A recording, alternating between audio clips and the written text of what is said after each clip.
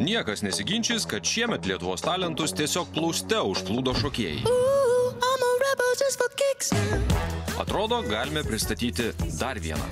Mano vardas Eglina, man 27. Šiuo metu gyvenate su Kaune, kilusi iš Lasdijų rajono. Mano talentas yra šokis. Taip, šokėja. Bet šokis bus visai kitoks. Jį pademonstruosiu ant kapančio stulpo. Eglina Paul Dance atstovė. Šokis ant stulpo vis labiau populiarėjantis Lietuvoje ir nustebinti visko mačiusius žiūrovus yra gana sunku.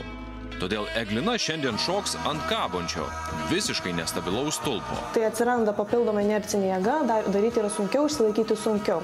O mums tai reiškia vieną - įdomiau. Ar jūs galite ramiai praeiti pro strypą? Ne, negaliu. Visada galvojat, laiptinėje einate. Oro uoste Bet rimtai oro uoste. Bet tikrai.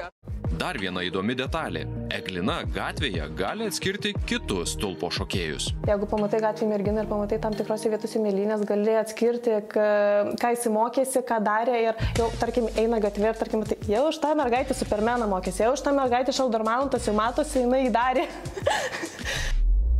Na, tai atėjo metas pamatyti, kągi ant stulpo išdirbinės pati Eglina. Keista, bet ji jaudinasi. Bijau. Gerai, mes. Eik, nustebink visus. Sėkmės.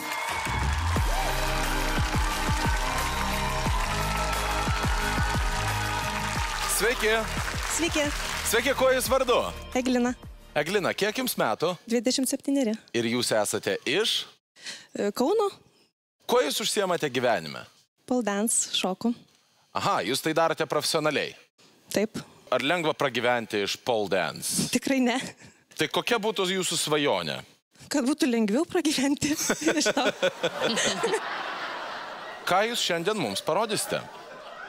Parodysiu Paldens truputėlį iš kitos pusės. Tai kaip mes įpratę matyti. Tai stulpas eis ne į viršų, o į apačią. nu, stulpas Vienareikšmiškai ir į viršų ir apačią eina, bet tiesiog jisai bus kabantis. Kabantis stulpas. Kabantis. Taip, kabantis. Kaip gražu. Skamba Nu. iš karto gerai. Skamba iš karto gerai. Smagu girdėti. Aš labai norėčiau jau dabar pamatyti, ką jūs mums esate paruošusi. Važiuojame, Glina.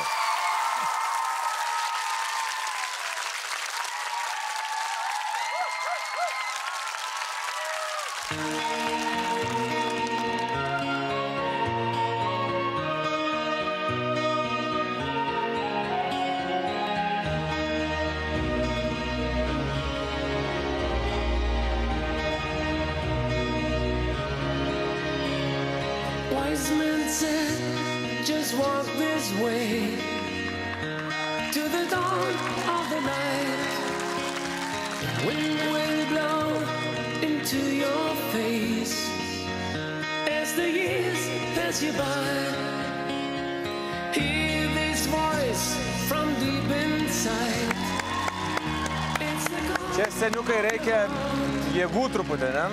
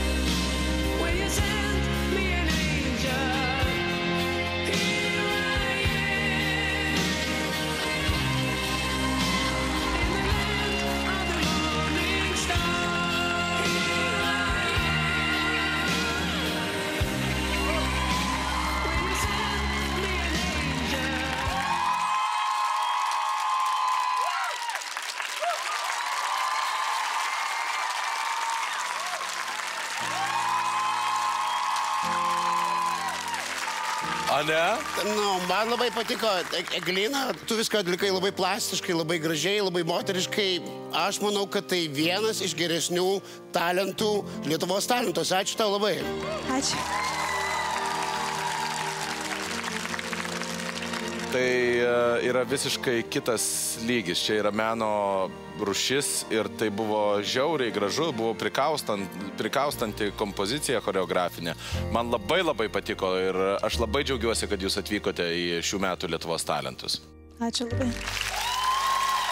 Brangus teisėjai, atėjo laikas išgirsti verdiktą.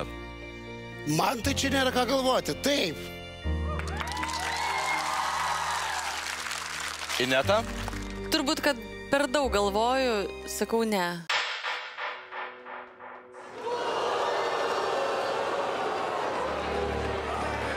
Kaip taip gali būti? Ne, ko jūs... e, Tikrai buvo tokių nestetinių Ko jūs čia liūdit? Ko man jūs čia, tas- ko jūs čia ūkaujat? Taip, jinai keliauja į kitą etapą. Eglina, sveikinu, jūs keliaujate į kitą etapą. Niekur neskubėk. Ar gali mums lengvą pamokėlę? Paskui Justinui mes rodysim. Ai, pasilaikyt už rankų taip. Oi, oi, tai čia lengviausia dalis. Gerai, Mindaugai, jeigu galėtum padaryti ir mes eisim.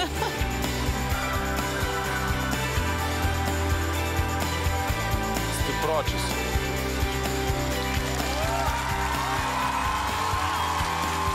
Tu matai.